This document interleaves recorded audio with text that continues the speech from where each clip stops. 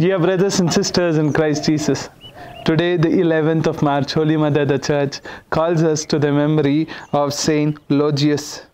Saint Eulogius was the second son of a noble senatorial family of Cordoba in Spain.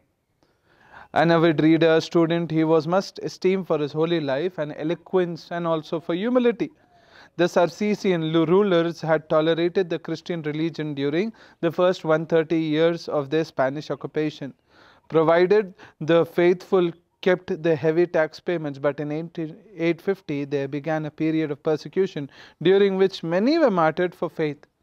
The Saint Eulogius did much by spoken word and written word to encourage the persecuted and imprisoned Christians exhortation to martyrdom, which encouraged two Christian girls, Flora and Mary, threatened with slavery, memorial of the saints, which relates the trials of martyrs, apologia, which defended martyrs seeking death by proclaiming their faith, had a profound, profound and widespread keeping many from apostatizing.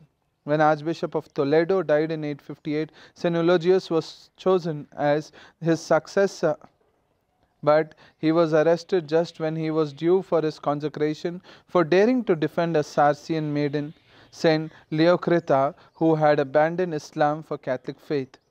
In his great zeal, the holy priest even endeavored to convert the Arab judge by pointing out the errors of Mohammedan faith and thus literally inviting death.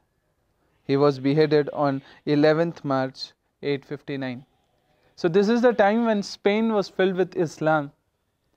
And around the 8th, 9th century, we have Eulogius, a saint, who could very well deny Islam. But what did he do? He converted a, a Muslim girl into a saint, Leocrita. And he also wanted to convert the judge himself. Will they be silent? They killed him. That's, that's the power of faith.